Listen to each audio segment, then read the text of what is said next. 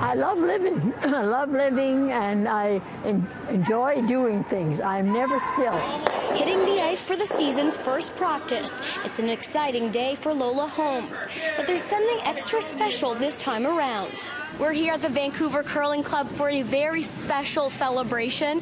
Lola Holmes here. Tell us, what are we celebrating? My Guinness World Book of Records. And I'm so excited and I hardly know what to do. That's right. The Vancouver woman just turned 100 years old, and her milestone birthday has granted her a nomination in the Guinness World Records as the world's oldest active curler. I never thought that I would ever, when I got to be 108 days old, that I would poss- could possibly be curling. She's such an inspiration, and we all wish that we could keep going and be so positive and delightful. Lola is so accurate that I'd rather have her on my team than against me for sure.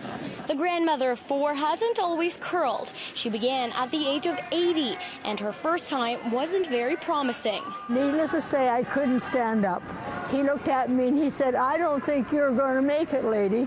But she proved everyone wrong. 20 years later, still curling strong. It's exercise, it's skill, it's uh, friendship. While the world has changed a lot since she was born in 1918, these girls used to run to the window of the school to see an airplane go over. There's one thing that she has always done, no matter her age. Just as active is the word, don't be a couch potato for sure.